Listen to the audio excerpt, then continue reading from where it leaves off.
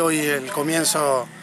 de, una nueva temporada, de, nuevas ilusiones, que, eh, desafíos que nos proyectamos todos y que bueno, bienvenido sea para, lo que va a ser nuevamente un año bastante difícil para lo que es el, plantel. Eh, pero bueno, eh, me parece que estamos muy bien, sostenemos la gran mayoría de los jugadores y que la verdad que estamos muy contentos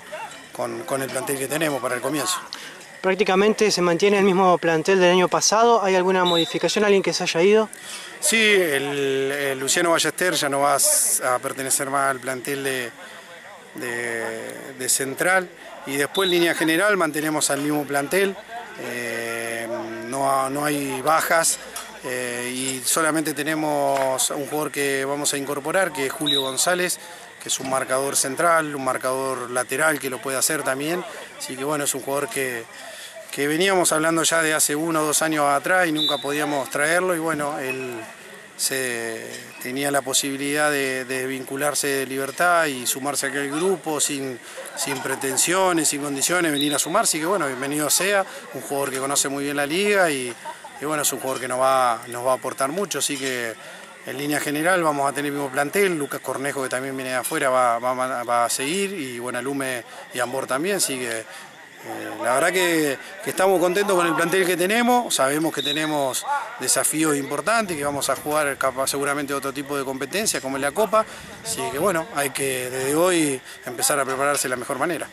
Gonzalo, ¿el cuerpo técnico se mantiene de la misma manera que el año pasado? Sí, sí, el cuerpo técnico mantenemos el mismo plantel que el año pasado. Eh, el Martín Ogier va a ser el entrenador de reserva, Martín Novando va a ser un acompañamiento y ayudante nuestro, después va a estar Nicolás Silvestre que es el preparador físico, Juan Torres que es el entrenador de arquero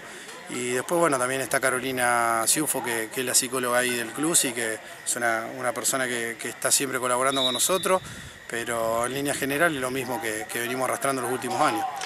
Hoy puede ser el primer día, por ahí algunos trabajos físicos. Eh, Hoy Luciano Buenalume está ejerciendo por ahí de profe, eh, Nico Silvestre está por ahí más comprometido en estos días con Colón. Sí, sí, Nicolás Silvestre, que es el preparador físico tanto de primera como de inferiores, eh,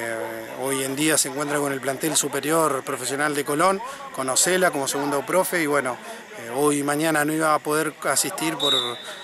porque Colón entrena hoy por la tarde y mañana en doble turno, así que después en línea general no va a tener problemas, así que bueno, hoy la parte física le tocó a Luciano Buenalume, que es un chico que, está estudiando preparación física y, que bueno, un chico que, lo conoce el grupo, una persona que es respetada dentro de, lo que es el plantel, así que bueno, eh, bienvenido sea porque también suma su primera experiencia. Piti, bueno, por último, en lo que tiene que ver con primera, hablaste en el discurso inicial ante los jugadores de la exigencia, eh, que ustedes se suben a esa exigencia de buscar por ahí lo que sería un tricampeonato, algo histórico para Central. Obviamente que no va a ser fácil, va a ser un año duro. También tienen la Copa Santa Fe, que me imagino que es muy importante para ustedes. ¿Cuáles son los desafíos para el 2020?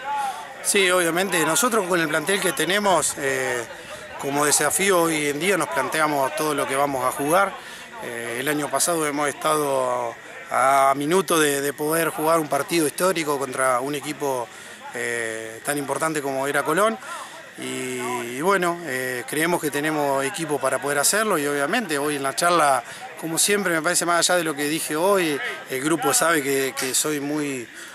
eh, me manejo muy de esa manera, muy exigente, que debe siempre plantear desafíos más allá de, de los nombres que pueda haber en el plantel de querer siempre lograr algo más y que bueno, hoy sabemos todo que, que llegar a, esa instancia final es muy difícil, ganarla también, pero bueno, siempre hay que, hay que pensar en, ilusionarse, en, pensar en,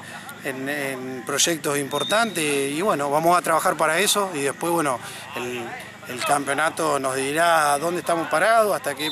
hasta dónde llegaremos, pero el primer objetivo sí es prepararse bien para, para afrontar eh, el año de la mejor manera y ser competitivo en, en los dos torneos que podamos jugar.